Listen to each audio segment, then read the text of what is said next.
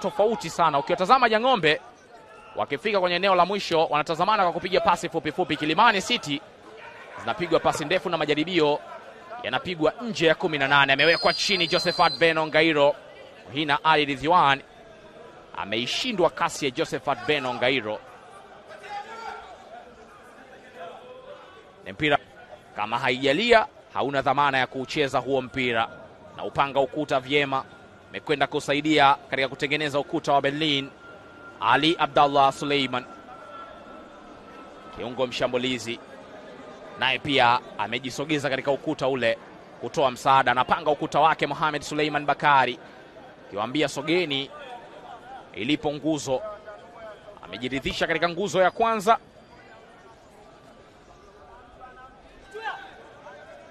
Yeye sasa. Josephat Beno Ngairo ni mzuri sana kwenye mipira ya namna hii. Josephat Beno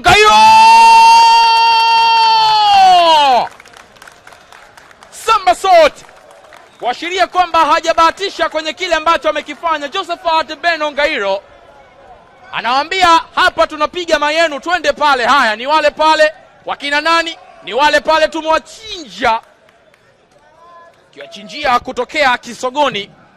Josephat Beno Ngairo, mpira wa kutenga, alimtazama vyema Mohamed Suleiman Bakari na ukuta ulipo, akafanya kazi ya kwanza ambayo anatakiwa kuifanya. Alichokifanya kwanza ni kuupeleka mpira ambao utapita katika ukuta na akafanikiwa kwenye hilo, lakini ya pili ikawa ni kulenga target na ikafanikiwa pia. La tatu ikawa ni kupitisha mpira kuingia katika nyavu, nalo pia limefanikiwa. Josephat Beno Ngairo amewatanguliza sasa Kilimani City. Jang'ombe Boys sifuri wenyeji wa mchezo wa leo, wakati Kilimani City bao likifungwa na Josephat Beno Ngairo dakika ishirini na mbili. Kuna kazi ya ziada inapaswa kufanyika hapa. Jang'ombe Boys